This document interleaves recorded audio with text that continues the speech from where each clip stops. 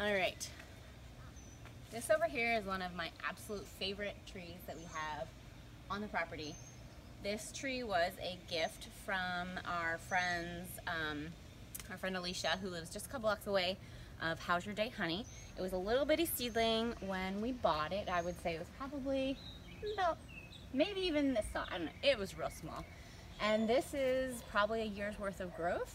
And it produces these cool little fruits. Let me, uh, you see it? These are these cute little fruits. It's a uh, common name is strawberry tree, also known as Jamaican cherry. And these are one of my favorites. They taste like cotton candy. And I really wish you were here to have it because it's delicious. Mm. So yummy. Mmm, so good.